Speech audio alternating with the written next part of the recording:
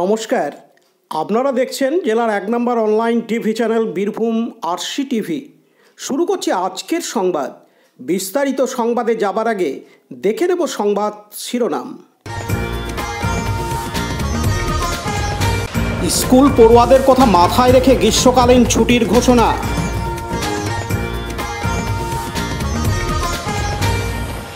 BJP প্রার্থীর দেয়াল লিখনে কাদা লেপে দেওয়ার অভিযোগ।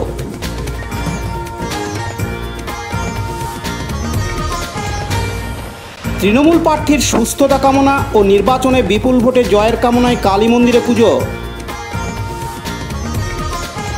অজ্ঞাত পরিচয় ব্যক্তির মৃতদেহ উদ্ধারকে ঘিরে চাঞ্চল্য বোলপুরের সিয়ান গ্রামে।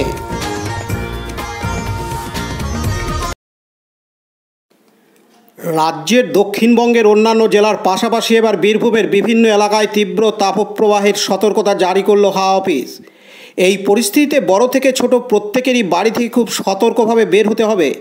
অন্যদিকে এই পরিস্থিতিতে বিদ্যালয়ের পড়ুয়াদের নাজেহাল হওয়ার কথা মাথায় রেখে শিক্ষা দপ্তরের তরফ থেকে গ্রীষ্মকালীন ছুটির ঘোষণা করা হয়েছে আগামী সোমবার বাইশ এপ্রিল থেকে। আর সেই মতোই শনিবার বিশে এপ্রিল ক্লাস হয়েই ছুটি হয়ে গেল গ্রীষ্মের। রাজ্যের অন্যান্য জায়গার পাশাপাশি বীরভূমের সিউড়ি এবং পার্শ্ববর্তী এলাকার বিদ্যালয়গুলিতেও ছুটি ঘোষণা করা হলো।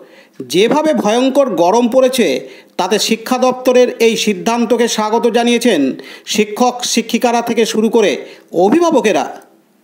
অসুবিধা মানে এই সুবিধা বলতে ঘরে থাকলে সুবিধা এগুলো এই ঠান্ডাতে এই গরমে গরম বাইরে স্কুলে পড়াশোনাটাও কষ্টকর তারপরে এই রান্না তো কষ্টকর হচ্ছে বাইরে এই রোদ গরম এই রোদ গরমেও কষ্ট হচ্ছে ছেলে পিলে বাচ্চারা ভালোই থাকবে ঘরে পড়াশোনা খানি ক্ষতি হবে এই যা।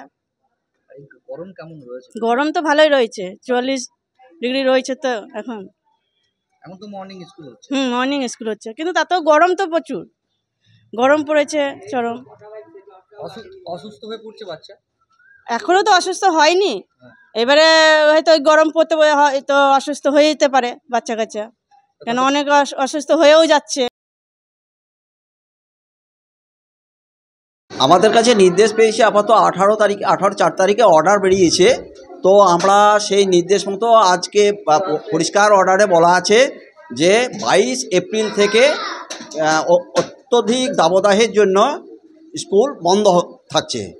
তো সেই অনুযায়ী আমরা আজকে ক্লাস শেষ করছি এবং আজকে আমাদের সামার ভ্যাকেশনে যে সমস্ত প্রজেক্ট আগের থেকে দেওয়া আছে যে এই এই প্রজেক্টগুলো সামার ভ্যাকেশনে দিতে হবে। সেইগুলো আমরা সমস্ত ছাত্রছাত্রীদেরকে বলে দিয়েছি ইভেন যে সমস্ত গার্জেনরাও এসেছিল, তাদেরকেও সমস্ত কিছু বলা হয়েছে।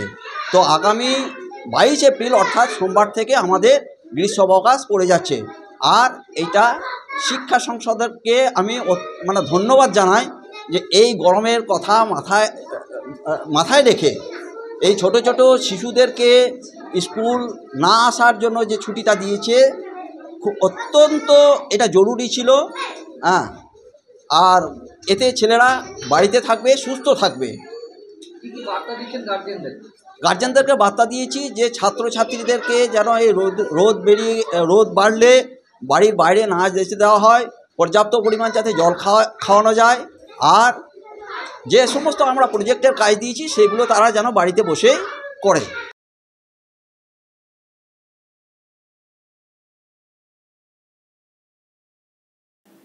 পার্থ দাসের report, Birbhum RC TV Suri. Khoyrasol ব্লকের পাঁচরা গ্রাম পঞ্চায়েতের রানীপাথর গ্রামে বিজেপির বেশ কয়েকটি দেয়াল লিখনে কাদা লেপে দেওয়ার অভিযোগ উঠল তৃণমূল কংগ্রেসের বিরুদ্ধে। বীরভূম লোকসভা কেন্দ্রের বিজেপি প্রার্থী দেবাশিস ধরের দেয়াল লিখনে কাদা লেপে দেওয়ার অভিযোগ। লোকসভা ভোটের আগে দেয়াল লিখনে কাদা লেপে দেওয়াকে কেন্দ্র করে শুরু হয়েছে রাজনৈতিক চাপানুতর। যদিও দেয়াল লিখনে কাদা লেপে দেওয়ার অভিযোগ অস্বীকার করেছে তৃণমূল কংগ্রেস। বিজেপির পক্ষ থেকে খবর দেওয়া হয়েছে খয়রাসোল থানায়। পাশাপাশি নির্বাচন কমিশনেও অভিযোগ জানানো হয়েছে বলে জানিয়েছেন। দেখুন এইখানে দুটো আঁকা আছে, তৃণমূল এবং বিজেপির। আপনারা দেখতে পাচ্ছেন যে এখানে শুধু বিজেপিরই পদ্মটাকে এবং দেবাশিস ধর আমাদের যিনি প্রার্থী আছেন, তারই শুধু লেখাটাকে মুছে দেওয়া হয়েছে। তো আমরা চাইছি এরকম পাঁচটা দেওয়ালে আমাদের কিন্তু দেবাশিস দার যে পদ্ম চিহ্নে পদ্ম চিহ্ন আছে, সেখানে পাঁচটা জায়গায় আমাদের মুছে দেওয়া হয়েছে। তো আমরা এই থেকে বুঝতে পারছি যেখানে তিনটে প্রার্থীর নাম লেখা হয়েছে, শুধু বিজেপির প্রার্থীর নামটাই মুছে দেওয়া হয়েছে। এই থেকে বোঝা যাচ্ছে যে পঞ্চায়েত ভোটে যেভাবে এখানে সন্ত্রাস হয়েছে রানী পাথরে রানীপাথরে রানীপাথর যে তিনটে বুথ আছে আজও প্রমাণ হচ্ছে যে, এই যে লোকসভা ভোট আছে, সেখানে একটা সন্ত্রাসের বাতাবরণ সৃষ্টি করতে চাইছে তৃণমূল। এখানে আমরা এখানে প্রমাণ পেয়ে যাচ্ছি যে এখানে কিন্তু তৃণমূলই এই কাজটা করেছে। আমি এই বিষয়টা নিয়ে সকালেই আমি, আমাদের যিনি খয়রসুল থানার ওসি আছেন তানা ওনাকে আমি মেসেজ করেছি এবং ছবিও পাঠিয়েছি।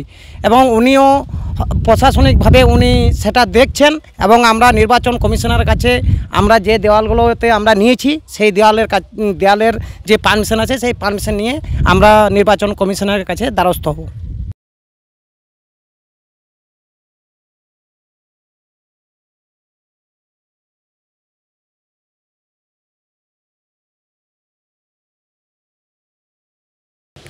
এই ব্যাপারে আমাদের কিছু ইয়ে নেই। আমরা তো জানি যে শতাব্দী রায় বিপুল ভোটে জিতবে। আর আমাদের দলের কোনো কর্মী করবে বলে আমাদের ধারণা নেই। তো জানে যে ওরা হারবে ওরা নিজেরাই নিজেদের ফুটেজ নেবার জন্য হয়তো তার জন্য যদি মনে হয় তার ইলেকশন কমিশনের ওরা দর ইয়ে করুক আমাদের কর্মীরা কেউ করবে না। রাতের অন্ধকারে যদি কেউ করেছে সেটা কোনো দলের কর্মী হতে পারে না। কোনো দলের কর্মী এসব করবে না আর কি। আমার নাম সৌগত মুখার্জি ডাক নাম সন্তু আমি পাঁচরা অঞ্চল প্রেসিডেন্ট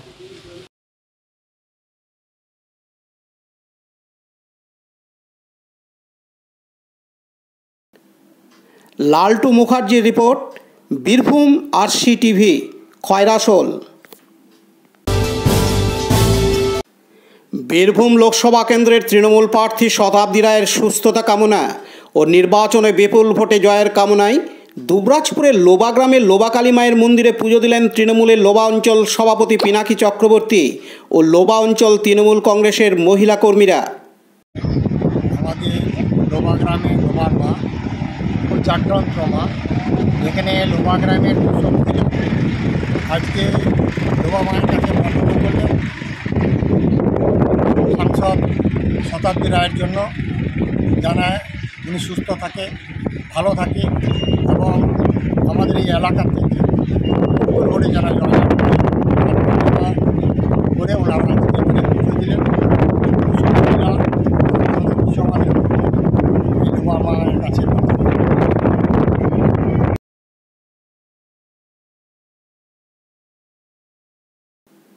লালটু মুখার্জির report, Birbhum RC TV Dubrajpur.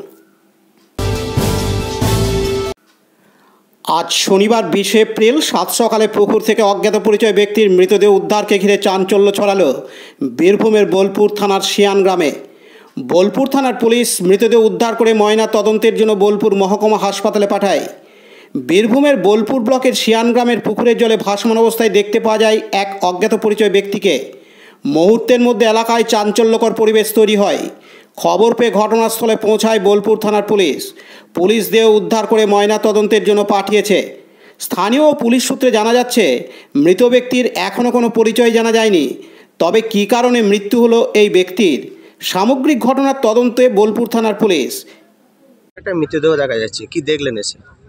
তো এখানে তো ওই পুকুরটা চান করে বারোটার থেকে রাত সাতটা অবধি লেবারগুলো চান করে প্রতিদিনই।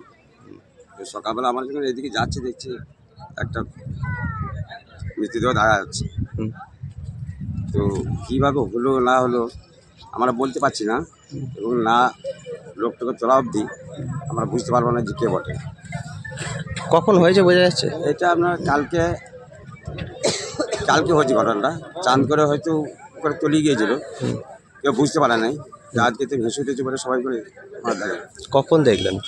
আমরা ফার্স্ট সকালেই দেখলাম একটা মৃত্যু হ্যাঁ এসে কি দেখলেন? তো পুকুরে ভাসছে। আমরা মনে করলাম যে কিছু বটে তারপরে দেখ- গেল যে না একটা মানুষ। মানে আশপাশের লোক কি কিছু আশপাশের লোক তো ভেঙে পড়েছে দেখছেন তো? হ্যাঁ। না এমনি পরিচিত কেউ না পরিচিত এখন আমরা বুঝতে পারি না কে বটে না তোরা বোঝা যাবে না। আপনার নাম? আমার নাম শেখ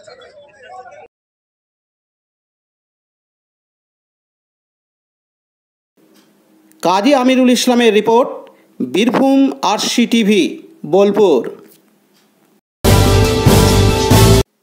আজকের সংবাদ এই পর্যন্ত। পরবর্তী সংবাদের জন্য চোখ রাখুন বীরভূম আরসি টিভির পর্দায়। নমস্কার।